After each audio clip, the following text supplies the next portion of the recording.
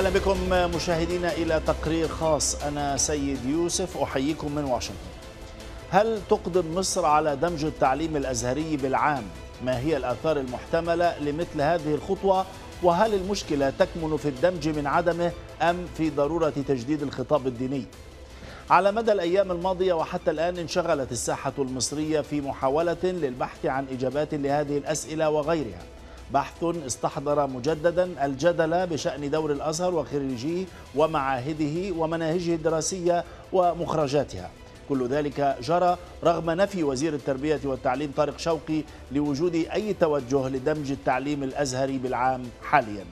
في هذه الحلقة من تقرير خاص سنتوقف عند أبرز محطات هذا الجدل مع ضيوفنا. من القاهرة الدكتور محمد شحات الجندي عضو مجمع بحوث مجمع البحوث الإسلامية. من القاهرة أيضا الأستاذ محمد أبو حامد عضو مجلس النواب المصري والأستاذ سامح عيد الباحث في الشؤون الإسلامية. وسينضم إلينا لاحقا في هذه الحلقة الأستاذ كمال زاخر الناشط القبطي. أرحب بكم جميعا. إذا تركز المدارس أو المعاهد الأزهرية على علوم القرآن والشريعة وأصول الدين. وتقوم بهذا الدور منذ زمن بعيد جدا. في التقرير التالي نطلع على واقع التعليم الديني في مصر. نتابع.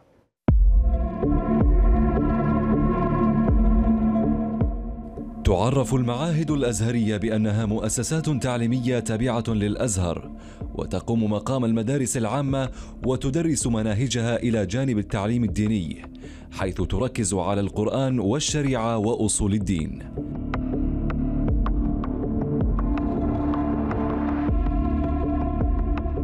بدأت المعاهد الأزهرية بالانتشار عام 1961 وعادة ما يتم إلحاقها بالمساجد ولها نمط معماري إسلامي. ويقدر عدد المعاهد الأزهرية في مصر بأكثر من تسعة آلاف وتستوعب هذه المعاهد أكثر من مليوني طالب قبل المرحلة الجامعية.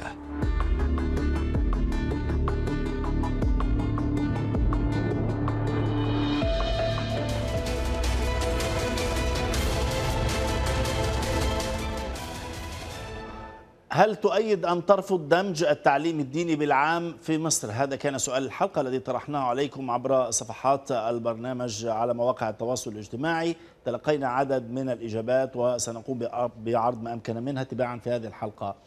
الآن أبدأ النقاش مع ضيوفنا. أبدأ من القاهرة مع الدكتور محمد شحات الجندي عضو مجمع البحوث الإسلامية.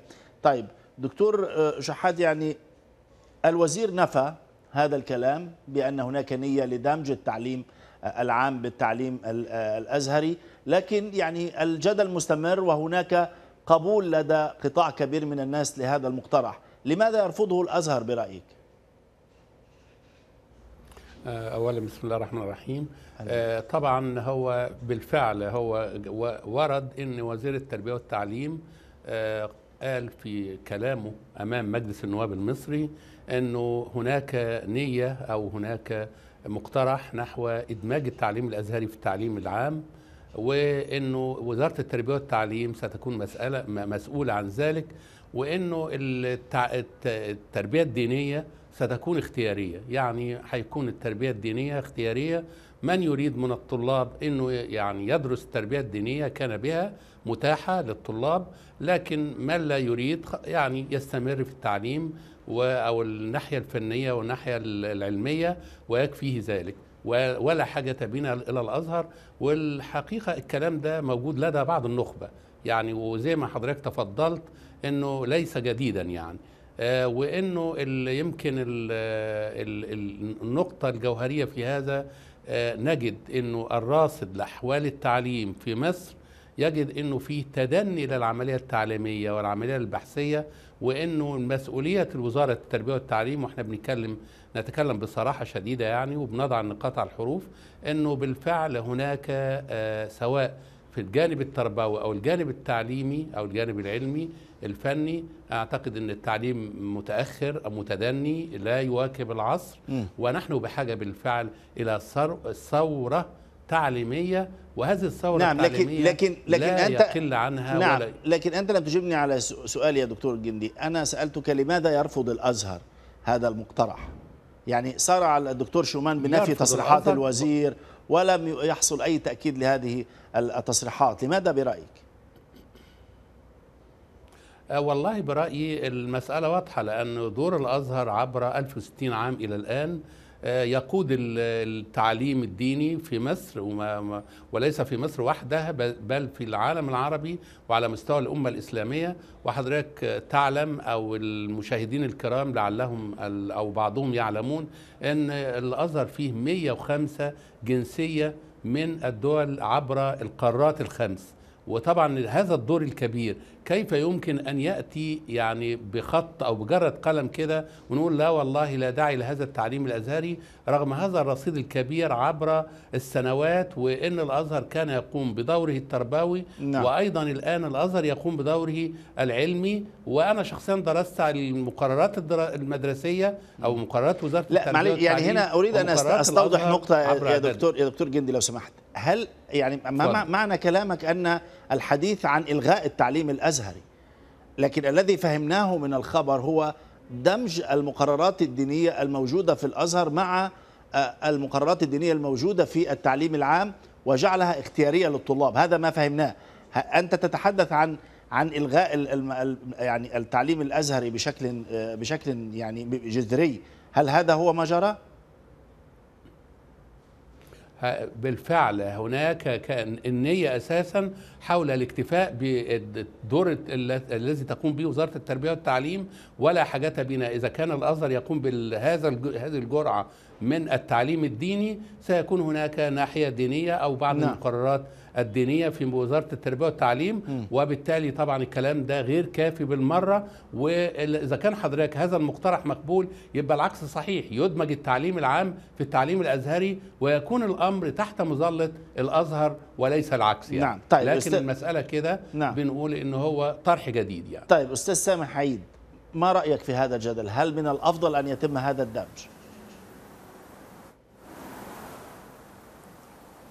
يعني طبعا ما بنتكلمش عن الجامعة جامعة الأزهر تظل باقية ولكن إحنا بنتكلم عن التعليم ما قبل الجامعي.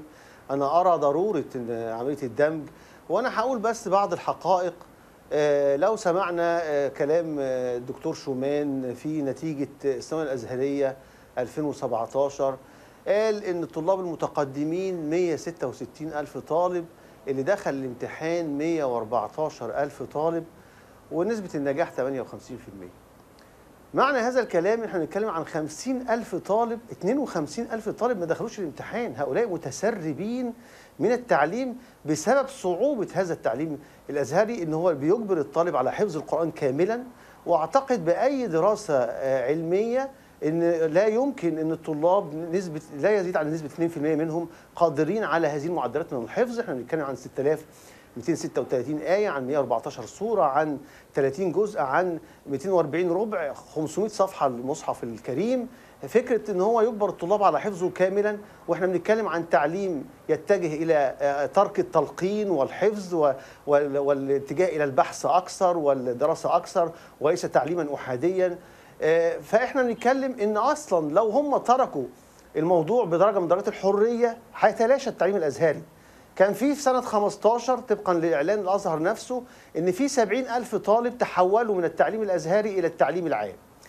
بسبب الصعوبة وبسبب إن هو كان الأول بيدخلوا الأزهر ربما لأن كان الطب أقل في الدرجات وأقل في المجموع ولكن الآن آه، بقى زي هم أقرب للتعليم العام 96 و95 بالإضافة إنهم عندهم مواد شرعية وبالإضافة إلى حفظ القرآن الكريم كل هذا أصبح أكثر صعوبة. ولكن للأسف الشديد جم في سنة 16 طلعوا قرار تعويق تحويل الطالب من التعليم الأزهري للتعليم الحكومي وإنه لازم يكون في شأن نهايه مرحلة ولازم يكون بسبب آه، آه، معين ان هو يكون كثافه الفصل كتير وما شابه نعم، ذلك إحنا نعم. بنتكلم عن 10000 معهد أزهري عليهم 2 مليون طالب بواقع 200 طالب لكل لكل معهد أزهري هل هل المشكلة أستاذ سامح في, 30 في صعوبه المناهج 22 مليون طالب هل المشكلة في صعوبة. الدمج طيب هل ستقل هل الكثافات ماشي. والنقطه الثانية هل المشكلة- إن هو سنخرج بمنتج أفضل طيب هل التعليم المشكلة في في في في مشكلة كبيرة جدا إن هو ما فيش فكرة الفرز في المرحلة الإعدادية.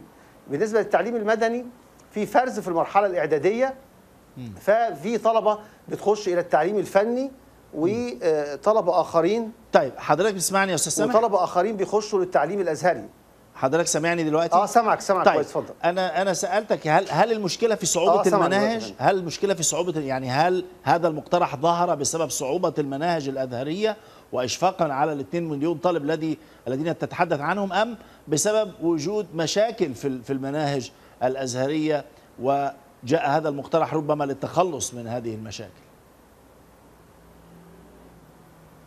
لا ال- المخرجات نفسها فيها مشكلة المناهج نفسها فيها مشكلة وإن كان ال- الأزهر بذل مجهود كبير في تع- تعديل هذه المناهج وخاصة بالنسبة للمرحلة الابتدائية ربما وخلاها أقرب للسلوك الإنساني وحقوق الجار وما شابه ذلك والأخلاقيات العامة النظافة من الإيمان وما شابه ذلك ولكن ما زالت المناهج في ثالث في إعدادي وتروح لثانوي تدرس توحيد وعقيدة وتفسير و- وسيرة و- وتدرس علوم علوم الدين كلها والمشكلة في طريقة التدريس منهجية التدريس في حد ذاتها نعم. أنت إحنا بنقول للطالب المفروض إن هو بيبحث يعني تغيير مناهج التاريخ وكذا بحيث إن ما يتقالوش حاجة أحادية تفكير أحادي نعم. إن ده صح أو غلط ولكن يترك الأمر الدراسه ولكن طريقة التدريس طريقة دوجماتيقيه المطلق أن مثلا المذهب الأشعري في العقيدة هو أفضل المذاهب وإنما غيره خارج عن أهل السنة وأن أهل الشيعة ك... لا طريقة أحادية تخرج طالب عنده عنده مشاكل في التعامل مع الآخر بشكل عام نعم. هو يتعامل بشكل أحادي بشكل فقهي نعم. المذهبية نفسها اللي لغاها الشيخ طنطاوي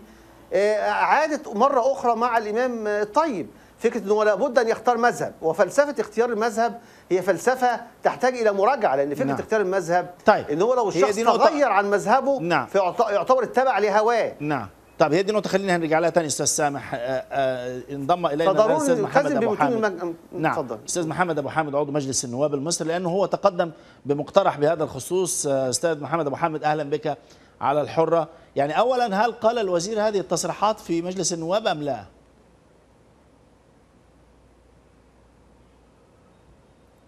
أهلا وسهلا بحضرتك. هو في الحقيقة ال- معالي وزير التعليم في اجتماع مع آه، لجنة التعليم والبحث العلمي آه، كان بيتكلم إنه في آه، يعني إنجاز التعبير تفكير في دمج التعليم الأزهري مع التعليم العام.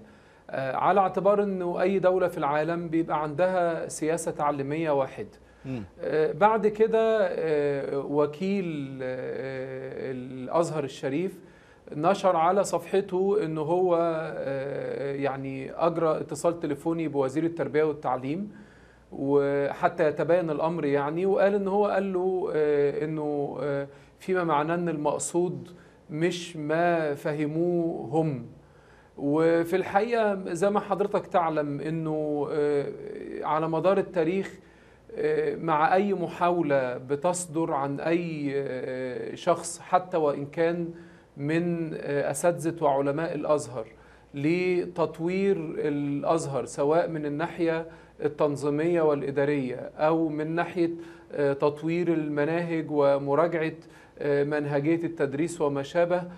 دايما مؤسسة الأزهر وعلمائها بيتعاملوا مع هذه المحاولات بحساسية. وهو حتى الطريقة اللي كتب بيها آه، طيب معلش يعني وكيل الأزهر على صفحته طيب قبل قبل اتصال، الحساسية لأنه برضه آه، معلش يا دكتور حضرتك آه، تقدمت باقتراح. إحنا بس عايزين نفهم المقترح هو إلغاء التعليم الأزهري؟ ويعني ما معنى الدمج في التعليم العام؟ كيف نفهم معنى المقترح نفسه؟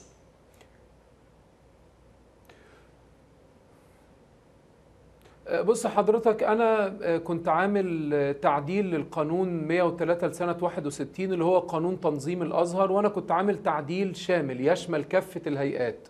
ما يخص جامعة الأزهر وما يخص قطاع المعاهد الأزهرية أنا قلت إنه الأزهر من أول ما أنشئ وليه دور محدد ودستور مصر 2014 الدستور الجديد في المادة 7 اتكلم عن الدور ده بشكل واضح جدا أنه آه، مرتبط بالحفاظ على الشريعة الإسلامية وأصول الشريعة واللغة العربية. لو حضرتك نظرت إلى آه، جامعة الأزهر الشريف هتجد إن فيها كليات ملهاش علاقة من قريب أو بعيد بالدور ده زي كلية طب وكلية هندسة وكلية زراعة وكلية تجارة وغيرها من الكليات ال- العلمية أو اللي في تخصصات ما هياش مرتبطة لا باللغة العربية ولا بالشريعة ولو حضرتك متابع الكتابات اللي قالها عدد من كبار علماء الأزهر زي الشيخ الشعراوي والشيخ شلتوت والشيخ المراغي وغيرهم لما صدر القانون 103 وفتح المجال إن ينشأ مثل هذه الكليات كانوا بيقولوا بشكل واضح جدا إن ده بيشتت الأزهر عن أداء دوره. أنا في التعديل اللي عملته رجعت الأزهر الشريف إلى ما كان عليه قبل القانون 103 إنه الكليات اللي موجودة داخل جامعة الأزهر هي الكليات المرتبطة باللغة العربية وبعلوم الشريعة فقط وإنه باقي الكليات العلمية الأخرى بتخرج بره الأزهر الشريف نعم. ويا إما بيتكون لها جامعه وتبقى يعني ملحقة ب أو يشرف عليها المجلس الأعلى للجامعات ووزارة التعليم العالي أو انه كل كلية من الكليات بجوار جامعه من الجامعات المصرية العادية يتم إلحاقها به نعم. في قطاع المعاهد الأزهرية إحنا عندنا 10000 تقريبا معهد أزهري. ال 10000 دول لو حضرتك عملت إحصائية هتلاقي على الأقل 99% مثلا من الطلبة الموجودين داخل هذه المعاهد لا ينوي دخول إلى كلية من كليات العلوم الشرعية أصول فقه أو علوم قرآن أو غيرها عايزين يدخلوا كليات عاديه هو داخل صحيح. المعاهد دي وفي النهاية هيدخل هيدخل كليات. كلية تجارة ولا صح. طب ولا طيب. كليات عادية نعم. فأنا قلت إنه اذا اذا وجود ال 10000 معهد دول تحت اشراف إن هم- إن هم ما داموا غير مرتبطين غير بال- مبرر، بالأزهر ف- وان إحنا فنفسهم. هنحدد عدد طيب. محدود من ال 10000 دول مم. وضحت الفكرة أستاذ محمد وضحت الفكرة ي- و- و- سأ- سأتوقف وإنه عند هذه من ال النقطة 10000 لأنه لأنه هذه النقطة سنعود إليها في في سياق حلقتنا، هل المشكلة في مناهج الأزهر أم في يعني طبيعة وتكنيك العملية التعليمية داخل جامعة الأزهر؟ بعد الفاصل القصير التالي نستكمل ابقوا معنا.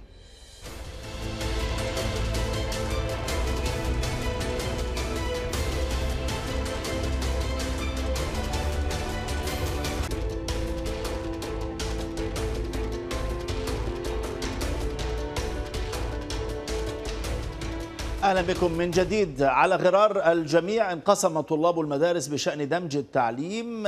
هذا التقرير يتضمن آراء عينة منهم. نتابع.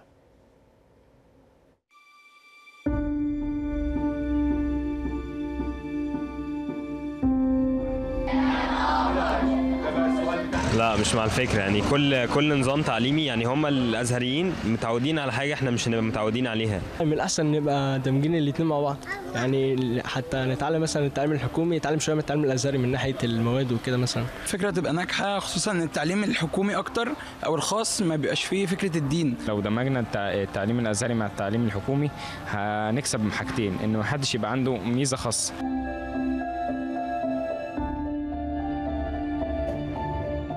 علشان ما يحصلش مثلا تطرف في, ال- في الأفكار وكده والكلام ده. لازم نطور برضو التعليم الحكومي العادي لأن التعليم الحكومي العادي بيعتمد برضو على الحفظ شوية. كده هضطر إن أنا يا إما الناس الأزهرية ألغي بينهم تحفيظ القرآن يا إما أضطر احفظ الاثنين ومع ذلك في ناس مسيحيين أنا اسمي مينا فكده أنا اضطر يعني أنا كم أنا كمسيحي هيضطر يتحط عليا إن أنا أحفظ قرآن. التعليم الأزهري اللي اللي كيانه لوحده. إنما التعليم العام ده ده كيان تاني مستقل أصلا. الاهتمام بالتعليم الز- ال- ال- الأزهري قل جدا والتعليم بقى متدهور الازهري طبعا. بجانب التعليم الحكومي بقى برضه متدهور بس الأزهري أكتر. صعب جدا عشان هو ما فيش مدارس تستحمل الاثنين والعقلية المفروض الواحد طالب صغير آه، يتعلم على التعليم الأزهري. صعب اللي هو ينتقل تربية التعليم والعكس.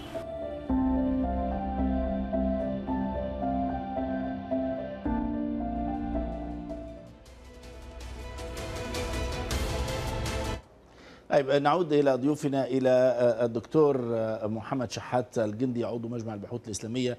دكتور جندي سمعت هذا الكلام يعني آراء مختلفة معظمها يصب في آه، في مصلحة هذا الاقتراح وهؤلاء طلبه في معاهد أزهرية يعني. لكن السؤال الذي طرحه قبل قليل الأستاذ محمد أبو حامد لماذا يتعامل المسؤولون في الأزهر بحساسية؟ مع أي مقترح يمس التعليم في الأزهر أو المناهج في الأزهر تحديدا؟ لا هو حضرتك الآن بس هذا ال- الكلام إنه في حساسية من جانب الأزهر أو من جانب علماء الأزهر نحو آه، مثلا تجديد في المناهج أو آه، تخفيف في هذه المقررات الدراسية أو تطوير العملية التعليمية أو لا ال- أنا أرى إن مسألة الحساسية دي يعني مش غير موجودة بمعنى الكلمة. لأن هو ال ال هي بس مسألة إن علماء الأزهر أو من تكلموا في هذا الموضوع يريد يريدون أو مح- عايزين طب ما هو المناهج المناهج يا دكتور جندي يظل. أليس أليست المناهج في يظل. الأزهر آه، يعني بحاجة إلى تجديد؟ أليس هناك من المناهج ما هو بحاجة إلى إلى تجديد وإعادة فهم ونظر؟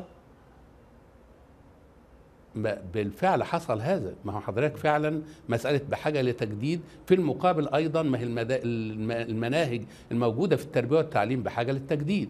وإن الأزهر بالفعل على مدى سنتين وأنا بكلم حضرتك وبكلم المشاهدين إنه بالفعل حصل على مدى السنتين اللي فاتوا تغيير في هذه المناهج محاولة أنه آه الآراء إذا كان فيه آراء هذه الآراء لا تعبر عن وسطية الإسلام لا هذه الآراء آه، تستبعد.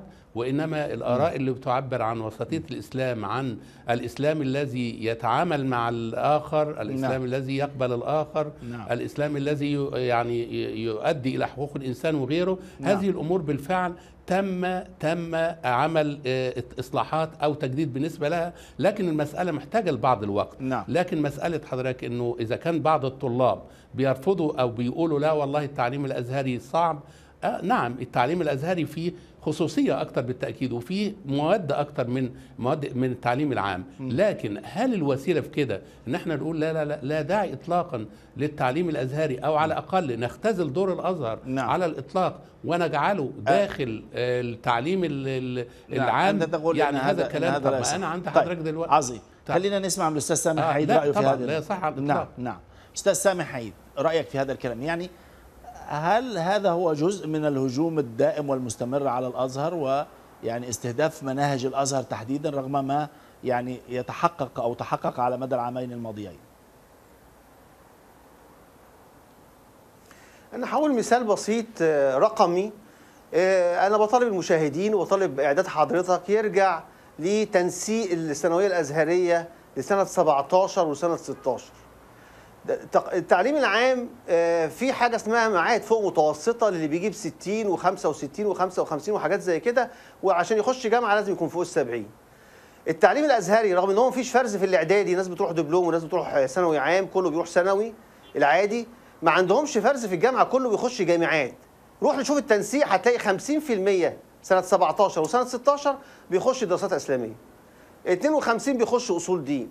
يعني معنى أصح كل مؤهلات اللي دخل أصول دين عشان يطلع آه، دا- دارس لعلوم الدين الإسلامي بشكل متخصص هم الادنى مجموعه هو كان داخل عايز طب أو عايز هندسة أو عايز لغات أو عايز ما شابه ذلك ولكن ولكن لأنه هو من أدنى المستويات التعليمية ومن أدنى القدرة على التحصيل أو الأضعف إرادة اضطر مرغما يخش أصول الدين والدراسات الإسلامية ويرجعوا للتنسيق.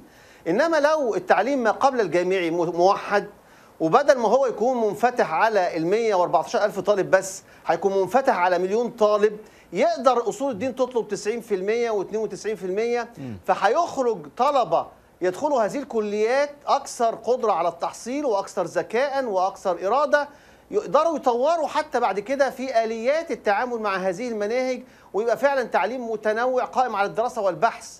ولكن لأن هم نعم لكن آه، لكن يا أستاذ اللي سامح هل, هل الشديد ما زالت في المناهج؟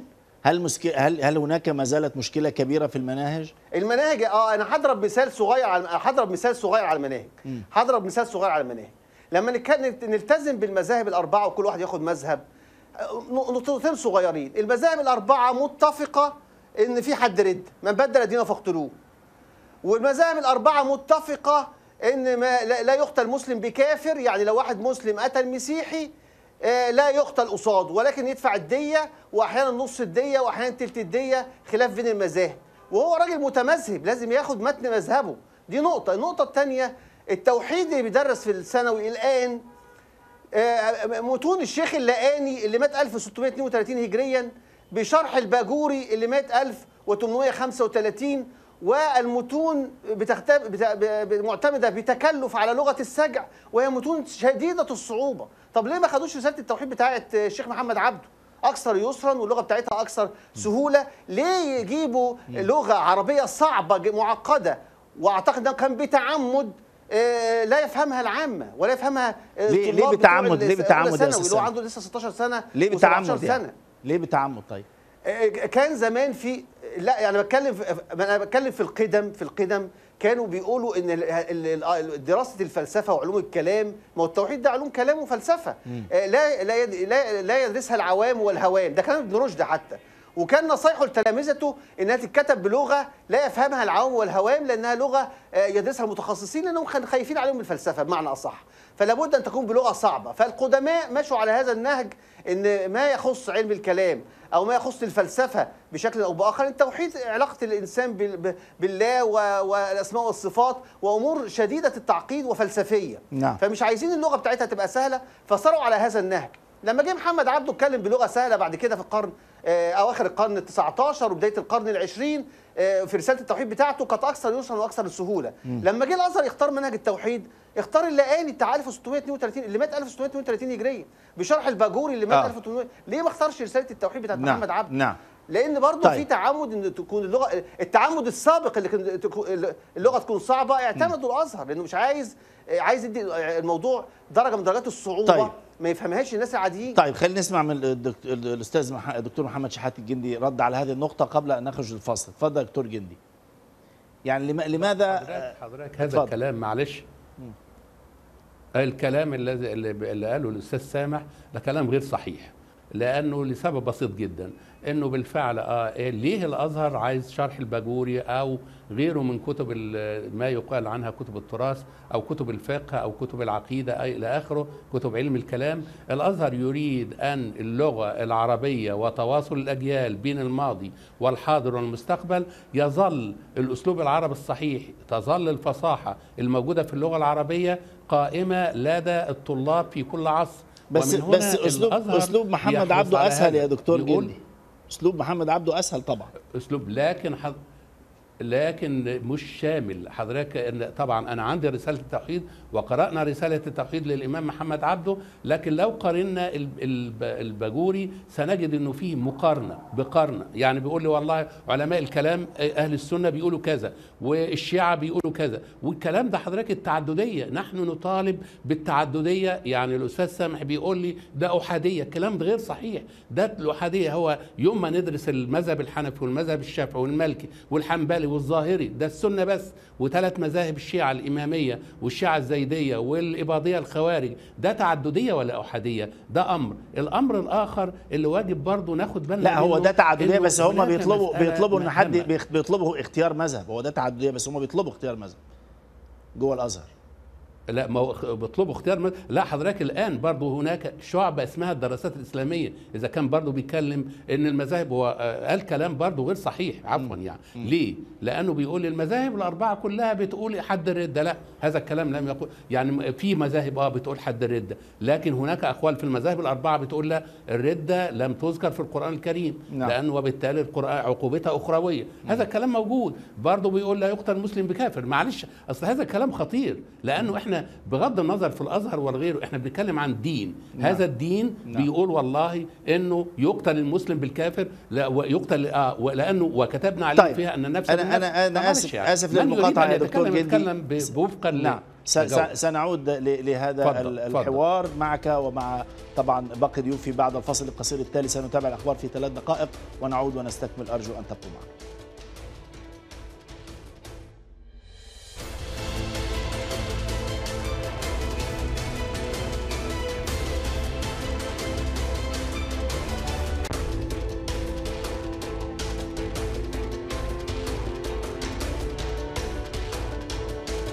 أهلا بكم من جديد مشاهدينا إلى تقرير خاص دمج التعليم العام بالأزهرية. هذا موضوع الحلقة في تقرير خاص. أعود مجددا إلى آه، القاهرة مع آه، مراسلنا هذه المرة محمد عبد عبد العال مراسل آه، برنامج تقرير خاص. وهو لديه مجموعة من يعني الناس لنعرف أيضا رأي الناس. سمعنا قبل قليل رأي الطلاب في هذا الدمج. سنأخذ من محمد الآن صورة أكثر شمولا عن رأي الناس في هذا الجدل. محمد أهلا بك. يعني كيف تبدو يبدو هذا الجدل في في رأي الناس هل هم يؤيدون هذا المقترح أم العكس؟ نعم سيد هناك العديد من الرؤى التي تتباين داخل الشارع المصري. حيال قضية دمج التعليم العام بالتعليم الأزهري. هناك من يرى بأنه يجب أن يقتصر على ما قبل التعليم الجامعي هناك من يرى إلى بأنه يجب تقليص عدد آه، المعاهد الأزهرية آه، إلى 120 آه، معهدا بما أنها منتشرة في ربوع مصر. دعنا نأخذ عينة وعينة آراء عشوائية من المواطنين في هذا المقهى في منطقة حدائق الأهرام بمحافظة الجيزة. بداية ما رأيك في قضية دمج التعليم العام بالتعليم الأزهري هل توافق على هذه آه، آه، هذا المقترح أم لا؟ والله أنا شايف إن هو الأحسن يخلوا الأزهر أو مؤسسة الأزهر قائمة على التعليم الديني ولان التعليم العام كل ما اقتصر عليه الأزهر أحسن يعني خلينا بعيد عن الأزهر خلينا بعيد عن مشاكل التعليم مع الأزهر خلي الأزهر مقتصر على المواد الدينية وكده أعتقد ده هيبقى أفضل يعني. نعم سأحاول أن أخذ بعضا من الآراء. أيضا هناك بعض الآراء التي تتحدث بأن مناهج الأزهر لا آه، تنشر التطرف ولكن المسألة تأتي في ضعف الرقابة في آه، آه، مستوى المدرسين الذين يقومون بالتعليم. سأخذ آه، رأيا آخر. يعني البعض يحمل آه، مؤسسة الأزهر المسؤولية لذلك هناك مقترح بدمج التعليم العام بالتعليم الأزهري هل توافق على آه، هذا المقترح أم أنك ترفضه؟ لا لا طبعا لا أوافق بتاتا يعني لماذا؟ الأزهر يعني حاجة كده من بقاله كام سنة في مصر آه، في بعثات في بينشر الإسلام الوسطي بعثات أفريقية بعثات عربية يعني أنا أهت... بس أتمنى إن الأزهر يهتم بالتعليم الديني أكتر من التعليم العلمي. يخلي الحاجات الطب والحاجات دي للجامعات التانية إنما الأزهر ينشر الإسلام الوسطي. نعم سأخذ آه، بعضا من الآراء حتى تتضح الصورة أكثر هنا في هذا آه، المقام من بعض الذين آه، يتواجدون. إذا هناك آه، آراء تتباين حيال هذه النقطة بين التأييد والرفض آه، أهلا بكم. سأقاطعكم لمدة يعني أقل من دقيقة. هل توافق أنت على دمج التعليم العام بالتعليم الأزهري. هناك من يرى بأنه لا يجب الاقتراب من الأزهر هناك من يرى بأنه يجب الاقتراب من هذه المناهج. والله هو الأزهر مؤسسة عريقة وموجودة من فترة. أنا شايف إن الموضوع هيبقى صعب شوية مش بالسهولة اللي إحنا متخيلينها لأن دمج الأزهر بالتعليم العام محتاج ترتيبات قوية قبل أو دراسة قبل ما نبدأ حاجة زي كده. هل ترى بأن مصر مؤهلة لدمج التعليمين العام والأزهري مع بعضهما البعض أم لا؟ وبعيدا عن التأهيل أنا شايف إن ال- الفكرة أساسا غير مقبولة. الأزهر طول عمره هو المؤسسة المعتدلة ال- الوسطية الموجودة في مصر. النهاردة لما تيجي تقفلها ال- اللي حابب يعلم أولاده علم شرعي هيوديهم فين؟ أو هيعلمهم إيه؟ أنت كده هتسيبهم البعض بيشوف أن التعليم ال- يقتصر على التعليم ما قبل الجامعي هل توافق على هذه النقطة من بعض المقترحات المطروحة عليه؟ التعليم الشرعي أصلا في الأزهر بيبدأ من من الابتدائي. يعني ففي النهاية برضو أنت لما تحب تعلم أولادك تعليم شرعي هتوديهم فين؟ لما هتقفل المؤسسة ما هو دمج التعليم يعني هتلغي تقريبا التعليم الأزهري. لما بعد كده هتقفله آه، هتوديهم فين؟ هتسيبهم لأفكار تانية مختلفة تماما إحنا مش عايزينها. يعني خلينا نحافظ على ال- على التعليم الوسطي. أعتقد ده يبقى أفضل لينا يعني. أشكرك شكرا آه، جزيلا. إذا كانت هذه عينة من آه، الآراء الموجودة في آه، الشارع المصري. بقي أن أذكر بأن هذا الجدل آه، ازداد نطاقه آه، بعد آه، اغتيال النائب العام هشام بركات في مارس أذار 2016 بعد أن تحدث اللواء مجدي عبد الغفار وزير الداخلية المصري بأن من قام باغتياله هم من ينتمون إلى جامعة نعم. الأزهر. نعم. إليك سيد. شكرا جزيلا لك محمد عبد العال. طبعا ولضيوفك في هذا المقهى. وأعود مجددا إلى ضيوفي أيضا في القاهرة. انضم إلي الآن الأستاذ كمال زاخر ال- المفكر والناشط المصري آه، القدس كمال أهلا بك على تقرير خاص يعني أريد أيضا أن أستطلع رأيك في هذا آه، الجدل كمفكر قبطي يعني آه، وخصوصا أن آه، يعني هذا الأمر أيضا آه، إذا حصل طبعا لا شك أنه سيتأثر به أو سيتاثر به ال- المسيحيون في مصر فيما يتعلق بالتعليم الديني. كيف ترى هذا الجدل؟ هل أنت تؤيد هذا المقترح أم لا؟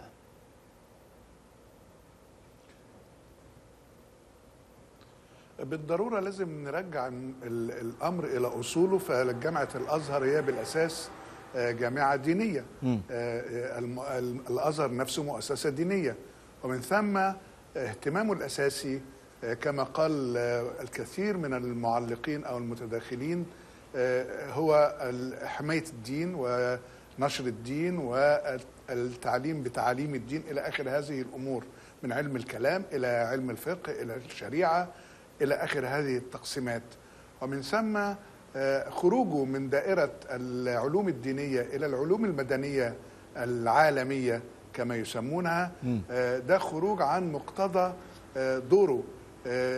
و- وأظن انه الأمر بي- بيعود بينا إلى تجربة أوروبا مع الجامعات الدينية لأن أغلب الجامعات العريقة في أوروبا آه، ولدت أو انشئت في داخل الاديره مم. ثم بعد ذلك آه، تطور الأمر إلى أن صارت جامعات مدنية صرفة ثم اختزل الأمر الديني في كليات اللاهوت يعني يعني اللي أنا فهمته اللي الأمر فهمته من حضرتك أو إن أنت إن أنت مع مع التغيرات آه، إن أنت مع اعطاء. الصبغة الدينية للكليات الأزهرية بمعنى أن تكون هذه الكليات تدرس يعني العلوم والشريعة الدينية بعيدا عن ال- العلوم الطبيعية الصبغة. الدينية لإيه؟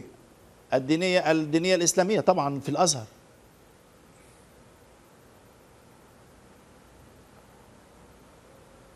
هل هل هذا ما فهمته صحيح؟ الصوت قطع. طيب الصوت قطع. خلينا خلينا نعود إليك مرة أخرى أستاذ كمال زاخر ونذهب لمحمد أبو حامد آه، من جديد. أستاذ أبو حامد الرئيس عبد الفتاح السيسي أعلن في أكثر من مرة عن ضرورة تجديد الخطاب آه، الديني. وفي نهاية المطاف يعني تم آه، آه، آه، يعني إيداع الأمر ب- برمته في يد الأزهر كمؤسسة وسطية آه، في في مصر للقيام بهذا الموضوع. هل يخدم هذا المقترح فكرة تجديد الخطاب الديني برأيك؟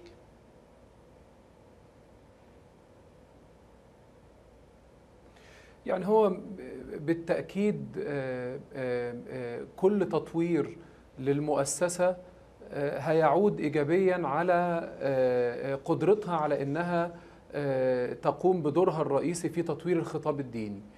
وفي الحقيقة أنا من الناس اللي كان لدي يقين وما زال لدي يقين أنه أن- النقطة الأولى في تطوير الخطاب الديني هو بالتطوير المؤسسي للمؤسسات القائمة عليه. حضرتك هل تعلم أنه القانون 103 لسنة 61 القانون الحاكم للأزهر الآن لا يوجد فيه ولا سطر واحد يتكلم عن وجوب تطوير الخطاب الديني. لا يوجد فيه ولا سطر واحد يتكلم عن حتمية مراجعة المناهج كل فترة على الرغم أن الأزهر في تعريف نفسه لنفسه يتكلم أنه مؤسسة علمية والمعروف أنه في العالم كله أي مؤسسة علمية سواء كانت جامعة أو غيره آه، آه، تعرض مناهجها للمراجعة والتطوير كل فترة من الزمان. لا يوجد في قانون الأزهر الحالي ولا سطر واحد يتحدث عن آلية لرقابة القائمين على آه، تدريس وشرح الكتب آه، والمناهج الدينية داخل جامعة الأزهر وإنه إذا ظهر إن بعضهم بيتبنى آراء أو أفكار آه، يعني تدعو إلى تشدد أو ما شابه إن يتم مواجهته بإجراءات.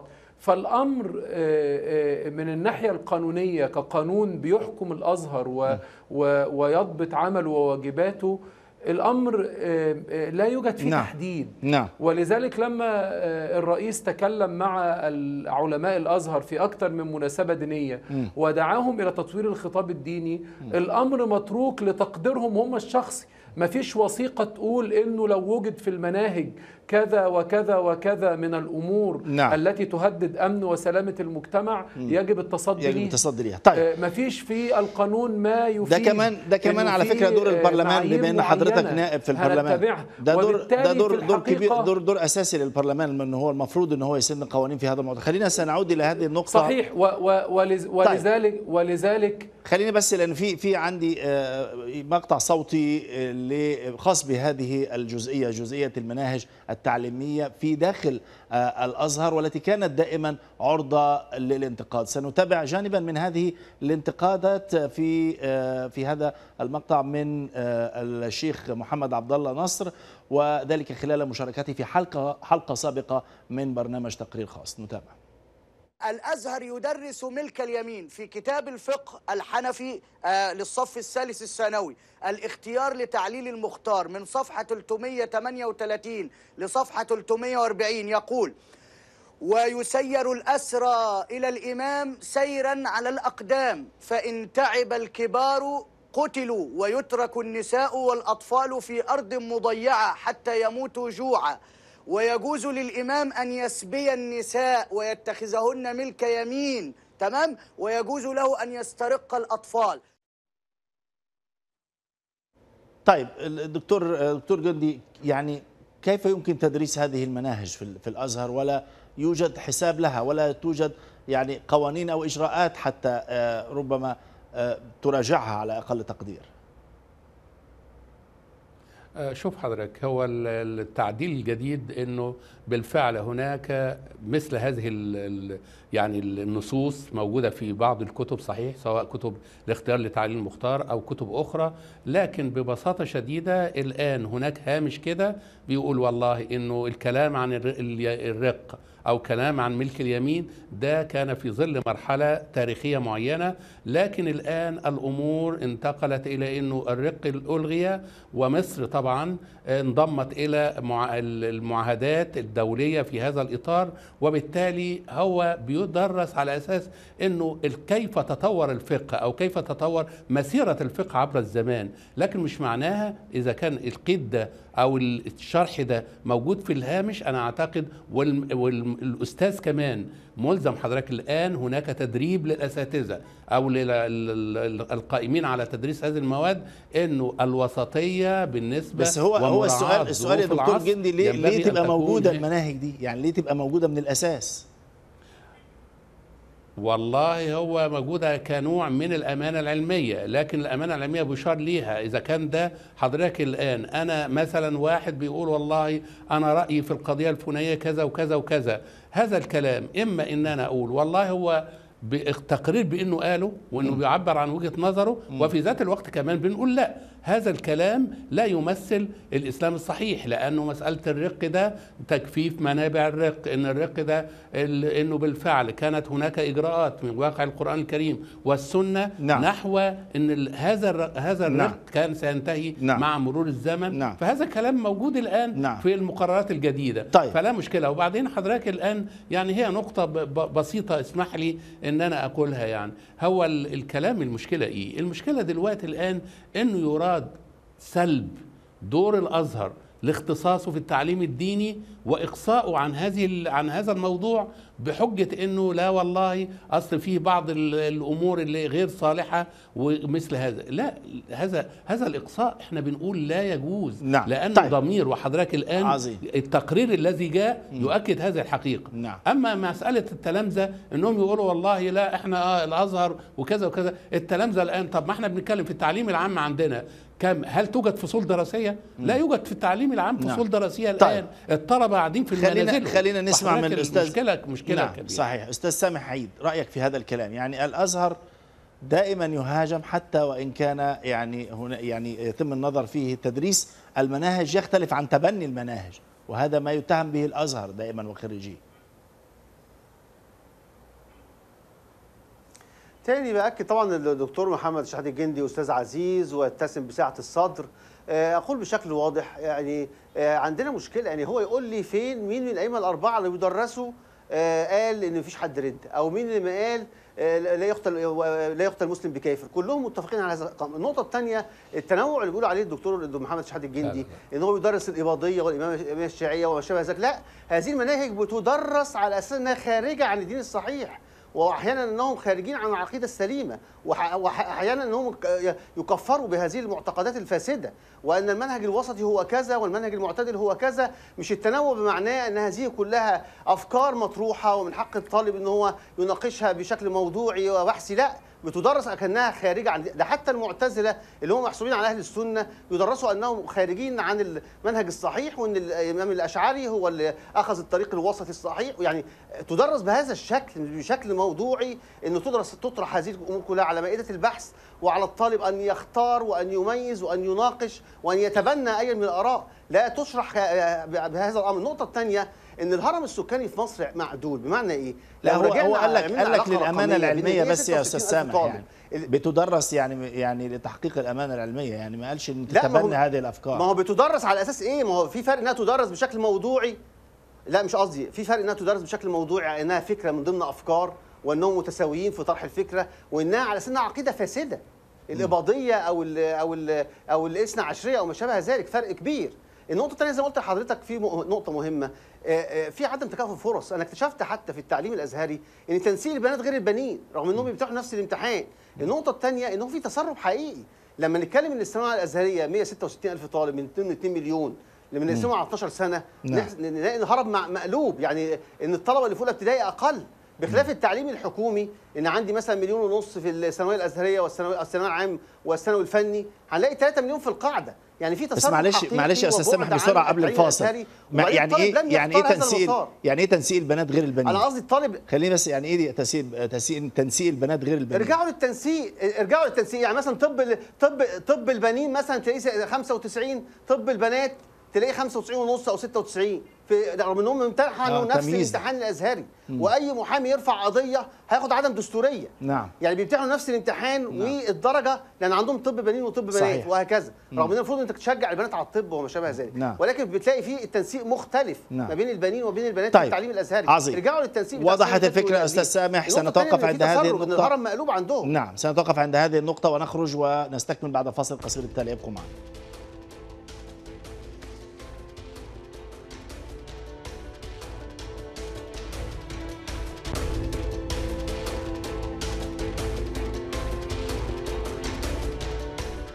المحور الرابع والأخير من تقرير خاص أتمنى على ضيوفي يعني أن يكونوا مختصرين في إجاباتهم لأنه أريد إتاحة الفرصه لهم جميعا. خلينا نرجع للاستاذ كمال زاخر ليستكمل النقطة التي كان يتحدث فيها ويعني بالمرة دكتور كمال تقول لنا آه، رأي حضرتك إيه يعني الحل إيه في في, هذا الموضوع؟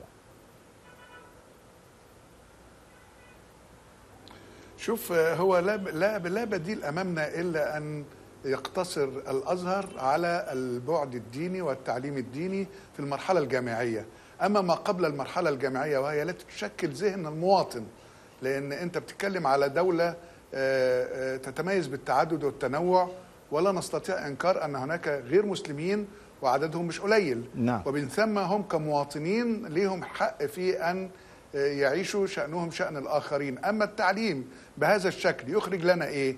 يخرج لنا طالب بيبتدي من أول كي جي 1 في حضانة لغاية ما يخلص التعليم الجامعي لا يتعامل مع غير المسلم. نمرة واحد.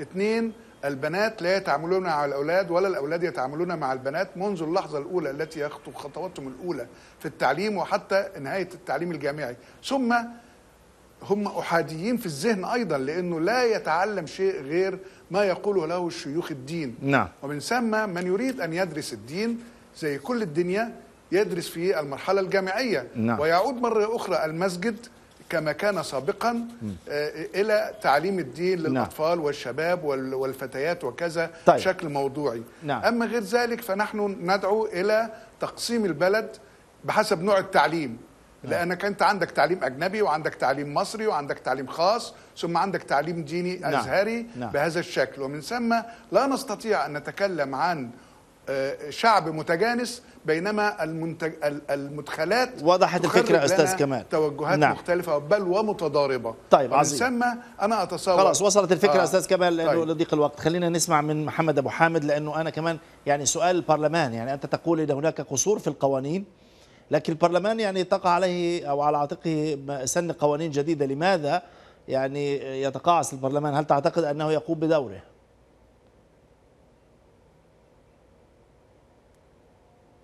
يعني في الحقيقة ما فيش آه، تقاعس. أنا اشتغلت من أواخر دول الانعقاد الأول وفي دول الانعقاد الثاني على مشروع تعديل شامل للأزهر الشريف. لكن مع الأسف آه، علماء الأزهر والمشيخة شنوا آه، حملة من الهجوم الشرس على مشروع القانون وحركوا بعض نواب ضد مشروع القانون لمنعه من التقديم من الأساس. يعني مش فكرة إنه يتقدم ويناقشوه لا هم كانوا يرغبوا إنه لا يقدم من الأساس. وفي الحقيقة من ساعة ما عملوا الحملة اللي هم عملوها دي أنا آه، آه، أرجأت تقديم المشروع القانون حتى لا يسقطوه من خلال هذه الآليات وابتديت أشتغل بشكل منفرد مع النواب وأشرح لهم وجهات النظر وحتمية التعديل وإن شاء الله على أمل إن مشروع القانون يقدم أواخر نعم. دول الانعقاد ده أو أوائل دول الانعقاد الجاي نعم. وأنا متأكد إن إذا مشروع القانون فتح مجال للنقاش نعم. آه، أنا يعني بالله اولا ثم بالتحضير الجيد لهذا الأمر نعم. أظن أنه نعم. سوف تكون هناك القدرة طيب. لإقناع جميع النواب بالتعديلات الواردة فيه عظيم. كمصلحة اولا للأزهر الشريف نفسه نعم. ولبلدنا ومجتمعنا طيب. وشعبنا. دكتور محمد شحات الجندي يعني باقي ثلاث دقائق أريد أن أقتسمهم بينك وبين الاستاذ سامح. هل توافق على هذا الكلام؟ خصوصا يعني في ظل كل السلبيات التي تحدث عنها ضيوفي. لا يمكن اطلاقا أن أن أوافق على هذا الكلام لسبب بسيط إن الكلام اللي تفضل به السيد النائب محمد أبو حامد هو يخالف الدستور نفسه. الدستور مثلا دلوقتي مما قاله الأستاذ محمد أبو حامد في مقترح وبالنسبه للقانون اللي بيقوله أو مشروع القانون اللي كان عايزه بيقول لا لا شيخ الأزهر وإزاي شيخ الأزهر؟ يعني هو انتقل من التعليم بقى ومن تطوير التعليم إلى مسائل معينة بالنسبة لوضع شيخ الأزهر إيه؟ أو وضع هذه المؤسسة دي تكون إيه ويرجو يرجو مرة أخرى إنه تقليص التعليم الأزهري هو نعم. ده بنقول هذا المنحى هذا الاتجاه لا يخدم المصلحة العامة نعم. ويخالف الدستور نعم. وأنت يا دكتور مح... يا أستاذ محمد يا سعادة النائب آه. ادخل إلى الم... ما يمكن أن نقول الشخصية المصرية نعم. الشخصية المصرية تريد هوية والكلام ده للأستاذ كمال زاخر أيضا والأستاذ سامح بنقول الهوية المصرية هي نعم. عبارة عن دين عبارة عن لغة تاريخ طيب. عبارة عن وطن نعم. الوطن والدين الاثنين نريد الشخصية التي تريد ذلك طيب، وده أنا. بقول مرة أخرى أستاذ أن سامح. التعليم العام هو اللي يكون من خلال تعليم الأزهر طيب وت- أستاذ سامح كيف يمكن يعني تحقيق ها- الأمرين يعني تطوير وتجديد الخطاب الديني وفي نفس الوقت عدم المساس بمؤسسة كبيرة مثل الأزهر لها شعبيتها كذلك في العالم الإسلامي بشكل عام أنا كنت في الابتدائي أزهري أنا درست ابتدائي أزهري لم نكن ندرس موسيقى لم نكن ندرس ألعاب لم نكن ندرس رسم. أي أنا أي بيننا وبينهم قياس الراي العام يجيبوا أي قياس رأي عام آه، طلاب خريجي التعليم الأزهري آه، مشاكلهم النفسية أكثر بكثير من التعليم العام. وأيضا المدرسين يعملوا استبيان واستقراء للرأي لهؤلاء الطلاب وعلاقتهم بالآخر علاقتهم بالمرأة علاقتهم بالمسيحيين. هتجد فروق شاسعة بين خريجين التعليم الحكومي وبين خريجين التعليم العام. بيننا وبينهم قياس الرأي العام. مركز بحثي متخصص يقوم بدراسة يجيب عينة عشوائية من هنا ومن هناك ويقيمهم نفسيا ويقيموا علاقتهم بالآخر وآرائهم في آه، آه، المرأة وال- والمسيحي والردة وما شابه ذلك. حتى المدرسين يخ- يخضع- يخضعوهم لتدريبات واستقراء رأي عام هيجدوا مشاكل كبيرة. لو درسنا الموضوع بشكل موضوعي هنجد أن هناك لابد من الانتقال إن هو جامعه بس. هل يرضى الدكتور محمد شحات الجندي إن خريج 50% يخش أصول دين ولا يبقى 90% لو مفتوح على ال 2 مليون طالب خريجين كل كل الثانوي بشكل عام؟ نعم. هل يرضى أن يكون دراسات إسلامية 50% إن كان نعم. يرضى ذلك ويكون أقل الناس وغير راغبين. في دراسه نعم. الطب والأزهر شكرا جزيلا لك أستاذ سامح عيد. انتهى وقت الحلقة. دكتور محمد شحات الجندي أستاذ محمد أبو حامد أستاذ كمال زاخر. شكرا جزيلا لكم. مشاهدينا نلتقي على خير الأربعاء المقبل إن شاء الله في تقرير خاص جديد. في أمان الله.